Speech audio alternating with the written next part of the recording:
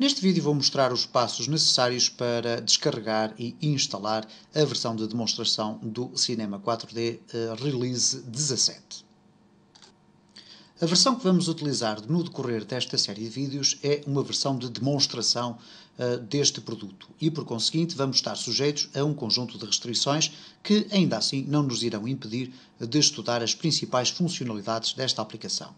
Alguns dos principais constrangimentos desta aplicação, neste caso da versão de demonstração, é o facto de não podermos gravar os nossos projetos e eh, também no momento em que estivermos a produzir as nossas imagens, não vamos ter a possibilidade de eh, produzir imagens com uma saída superior a 800 por 600 pixels de dimensão.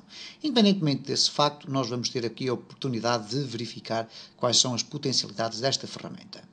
Para descarregar o Cinema 4D, a versão uh, de demonstração, teremos que ir uh, diretamente à página de internet www.maxon.net uh, e vai-nos ser apresentado este quadro ou um quadro semelhante.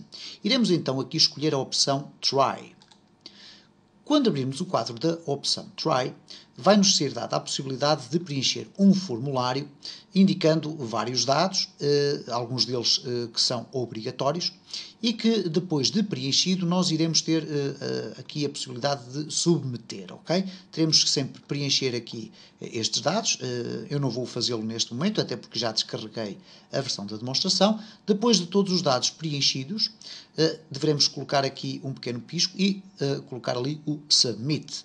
Depois do formulário estar devidamente bem preenchido, vai-nos ser dada a possibilidade de descarregar uh, o Cinema 4D versão de demonstração. Alerto para o facto desta versão de demonstração ser uma versão relativamente pesada, isto é, terá sensivelmente 2.3 GB, ok? Portanto, mais de 2 GB de material. Contudo, a instalação do Cinema 4D não vai ser tão uh, grande quanto isso. Porquê?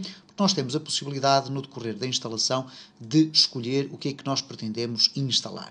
E é isso que nós vamos ver de seguida. De qualquer das formas, fica aqui então a indicação, deverão preencher este formulário no final do preenchimento e deverão colocar apenas os dados que são obrigatórios. No final deste preenchimento, deverão submeter e terão então acesso ao uh, espaço para o download da aplicação.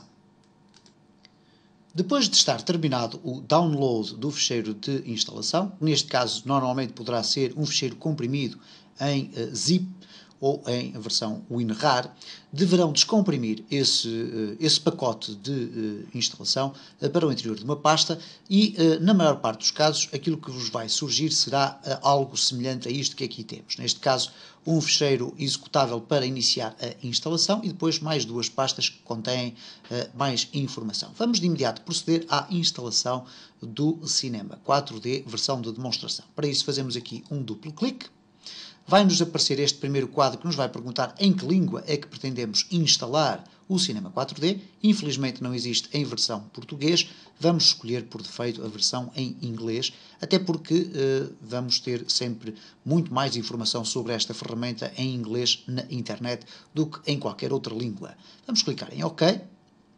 Vamos aguardar alguns instantes até que arranque o instalador uh, da aplicação. Vai-nos então surgir aqui um quadro que nos vai indicar que esta aplicação contém um conjunto de limitações. E como poderemos ver aqui, esta versão de software é uma versão de demonstração quer para o cinema 4D, quer para uma outra aplicação que vem aqui embebida para o Body Paint 3D. E vai ser instalada no nosso computador e esta versão não tem limite de tempo. Foi por isso que eu entendi que esta versão seria suficiente para podermos explorar as suas funcionalidades. No entanto, há aqui um aspecto muito interessante e que nós podemos também explorar. Nós podemos, contudo, ativar esta versão de demonstração e obter uma chave que vai desbloquear o mecanismo de save durante 42 dias. Isto é, poderemos, durante 42 dias, ter a possibilidade de ir construindo os nossos modelos e uh, gravar esses trabalhos para depois podermos continuar mais à frente. Diz ainda que nesta versão do Cinema 4D também está aberta a possibilidade de escolher os pacotes que queremos experimentar. Existem várias versões do, uh, da aplicação e neste caso temos a versão Prime, Broadcast, Visualize e Studio. A versão que nós vamos aqui estudar em maior pormenor é, obviamente, a versão Studio. A única diferença que existe entre cada uma destas versões é o conjunto de funcionalidades que está disponível. Neste caso concreto, como os clientes desta aplicação podem comprar diferentes tipos de versões, que obviamente têm diferentes tipos de preço, o caso do Studio é a versão que vem eh, eventualmente mais completa. Para aquilo, pelo menos, que nós queremos aprender. Depois temos aqui ainda algumas indicações de como é que nós podemos alterar as configurações, etc. E há aqui um comprimento e vamos continuar aqui com a instalação. A partir daqui vai-nos perguntar o que é que nós pretendemos instalar. E a opção não nos permite, estas opções não nos permite escolher as três opções em simultâneo. Mas de facto, nós queremos instalar o Cinema 4D porque é o objeto destes vídeos. Vamos clicar em continuar. E aqui é um passo extremamente importante. Como podem reparar, existem aqui dois uh, uh, quadros diferentes, ok?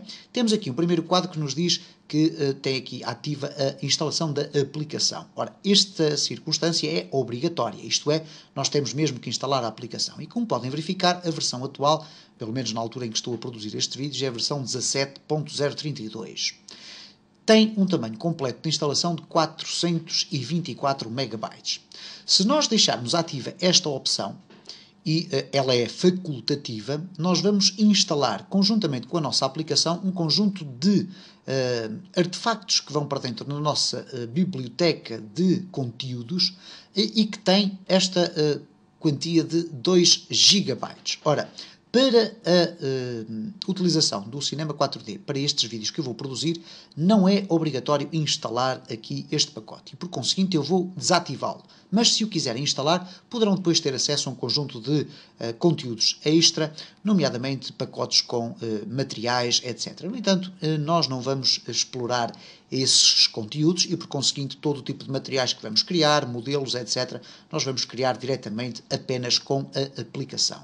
Opcionalmente, podemos então também escolher a documentação. A documentação é genericamente o conjunto de informações relacionadas com tutores, eh, ajuda, etc. Eu vou desativar aqui o English Documentation, porque não vou querer instalar isto para ocupar muito espaço, mas qualquer das formas, se quiserem deixar ficar esta documentação para terem um mecanismo de ajuda, poderão deixá-la ficar, são mais 285 MB. Vamos então apenas instalar a nossa aplicação. Vamos clicar aqui em Continue Vamos uh, colocar aqui um pequeno pisco no fundo a dizer que sim senhora, conseguimos ler, e não lemos, mas podíamos ter lido aqui os, uh, as condições, e vamos clicar em Continue. O que vai aparecer agora aqui é a localização da minha instalação. Ora, neste caso concreto, ele está-me a dizer aqui que vai instalar o produto aqui nesta, nesta pasta. Eu vou deixar por defeito nesta localização. Diz-me aqui que o espaço requerido vão ser 324 MB, eu tenho neste momento 30 GB disponíveis, estou a instalar a minha aplicação num disco SSD. Depois pergunta-me também se eu quero criar aqui algumas entradas no menu. Neste caso eu posso escolher entre estas três opções, só para mim, para todos os utilizadores deste computador ou não criar qualquer tipo de entrada.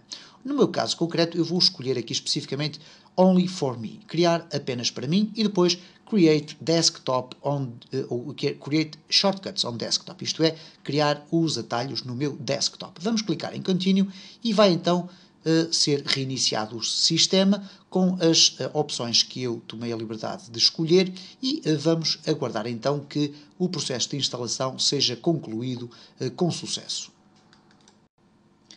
Dependendo do conjunto de opções que escolhemos no menu de instalação, vamos ter a nossa aplicação instalada quando aparecer este quadro indicando com este sinal verde que a instalação foi concluída com sucesso. Temos aqui esta opção que diz Start Cinema 4D Demo, ok? Se nós clicarmos em Finish, automaticamente a aplicação vai ser iniciada. Mais uma vez refiro que esta aplicação poderá demorar mais ou menos tempo, consoante o conjunto de funcionalidades que escolhemos para instalação. Se escolheram instalar também todos os conteúdos, eh, vai demorar mais um pouco. Se não escolheram, então vamos ter uma instalação que se processará uh, em alguns segundos apenas. Eu vou retirar daqui este pequeno pisco, vamos aqui clicar em Finish e temos a nossa aplicação instalada com sucesso. No eh, próximo vídeo vamos então iniciar o nosso eh, Cinema 4D e começar a verificar qual é o aspecto do interface desta aplicação.